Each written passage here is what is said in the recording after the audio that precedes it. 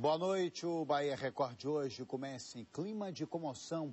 A comunidade do Nordeste de Amaralina, um dos bairros que mais sofrem com a ação do tráfico de drogas na capital, cobra das autoridades uma explicação sobre a morte de uma criança inocente. Joel da Conceição Castro, menino de apenas 10 anos que sonhava em ser mestre de capoeira.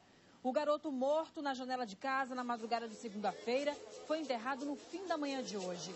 Parentes e amigos lotaram o cemitério para dar o último adeus ao menino que teve o futuro interrompido pela violência. Depois saíram em passeata até a sede da TV Itapuã para pedir justiça. Eles acusam policiais militares pelo crime. A cobertura completa e as novidades deste caso você acompanha ainda nesta edição do Bahia Record. O alemão que se passa por membro da Igreja Católica em Salvador foi detido mais uma vez. Desde 2004, ele é acusado de enganar fiéis da capital e do interior da Bahia. Entre os golpes aplicados por ele estão celebração de missas não autorizadas, encontros com freiras e até mediação de compromissos entre católicos. Só que desta vez, o crime de falsa identidade foi descoberto pelas vítimas do alemão, que reagiram com violência.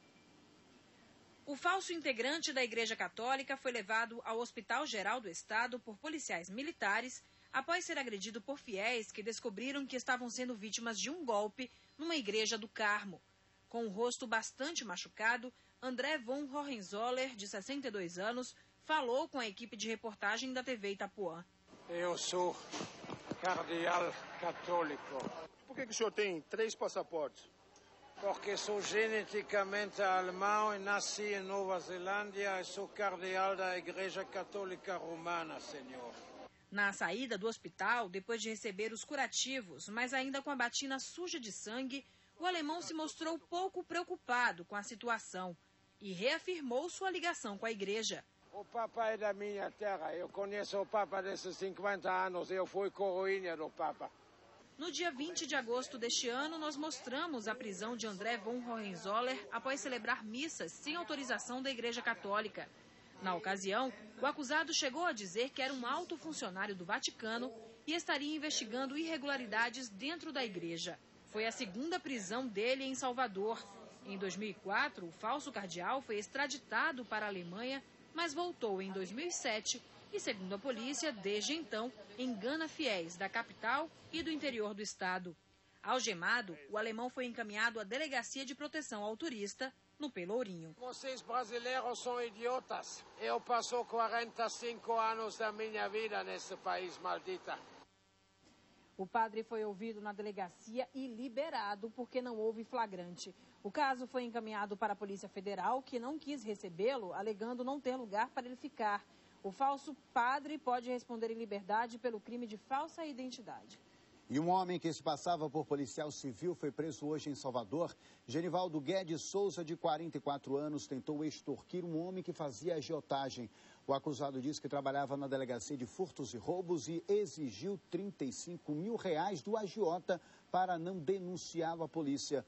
A suposta vítima prestou queixa na delegacia, onde a polícia descobriu que Genivaldo já tinha várias passagens por estelionato.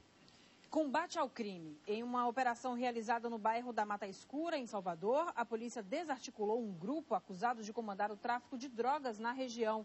Quatro pessoas foram presas. Com elas foram encontradas armas, munição, aparelhos de celular e uma grande quantidade de maconha. Um deles também é acusado de homicídio. A polícia prendeu em flagrante no subúrbio de Salvador um jovem acusado de tráfico de drogas e de pelo menos nove assassinatos na capital. Outro acusado de participação em crimes na região está sendo procurado pela polícia.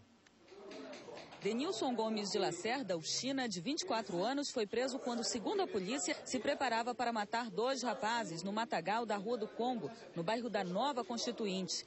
Denilson já tinha sido preso acusado por tráfico de drogas. Há um mês respondia pelo crime em liberdade. De acordo com a polícia, ele disputava o comando do tráfico na região da Nova Constituinte com Adriano dos Anjos Oliveira, que está sendo procurado pela polícia. Já estamos ouvindo algumas pessoas, já temos várias denúncias. E uma coisa é certa, a gente vai para cima desses elementos.